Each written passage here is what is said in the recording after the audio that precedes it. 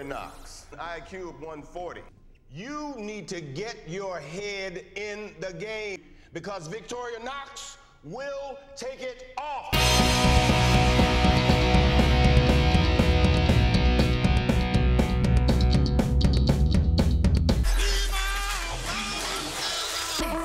Best believe that when you need that,